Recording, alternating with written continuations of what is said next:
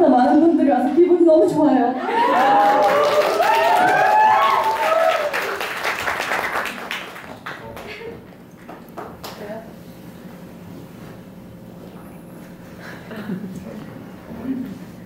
제 밴드 베이시스트 김정희입니다.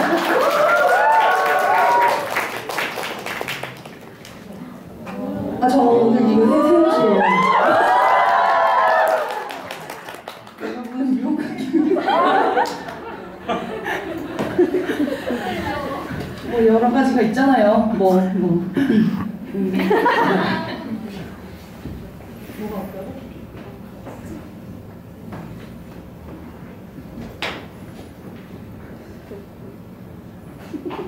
저희 낮에도 공연하고 저녁에도 하는데요.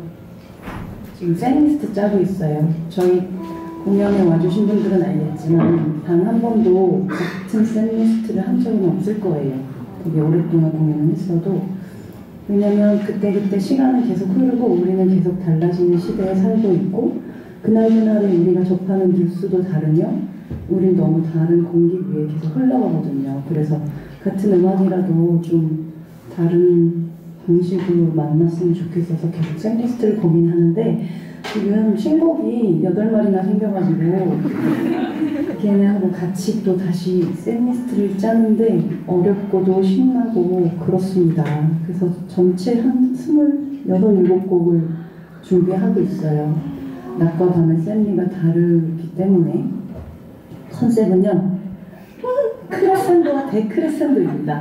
그런데 그래프를 한번 그려보려고요. 크레센도는 일정하고 데크레센도도 일정하지만 저희 음악은 그렇지 않을 것 같아서 지지지지 지지지지 뭐 이런 이제 다음 곡 하겠습니다.